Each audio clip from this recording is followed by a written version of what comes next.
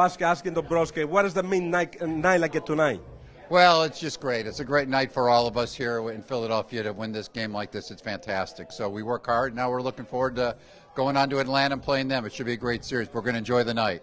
Coming to Felix, bringing the team both year, a playoff, has mean something to you? Well, it's great. We have such a good organization, such good people here, and there's so many people that contribute. We have some really good club, a lot of good players on this team with great chemistry. So it's fun to be here. You can see the fans, the enthusiasm. So it's just a lot of fun. The group you put it together this year, you think that's the group you need to bring the trophy what you left over last year? Well, I think we've got as good a chance as anybody right now. We have a good ball club. We're playing well. Our offense is uh, playing well.